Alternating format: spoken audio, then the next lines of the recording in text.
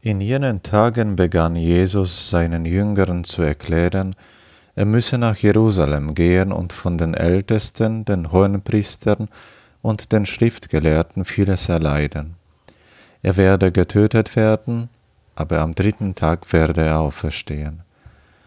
Da nahm ihn Petrus beiseite und machte ihm Vorwürfe. Er sagte, Das soll Gott verhüten, Herr, das darf nicht geschehen. Jesus aber wandte sich um und sagte zu Petrus, Weg mit dir, Satan, geh mir aus den Augen, du willst mich zu Fall bringen, denn du hast nicht das im Sinn, was Gott will, sondern was die Menschen wollen.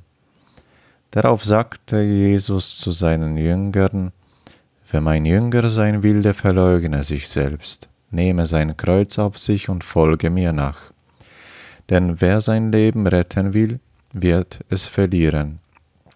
Wer aber mein, sein Leben um meinetwillen verliert, wird es gewinnen. Was nützt es einem Menschen, wenn er die ganze Welt gewinnt, dabei aber sein Leben einbüßt? Um welchen Preis kann ein Mensch sein Leben zurückkaufen?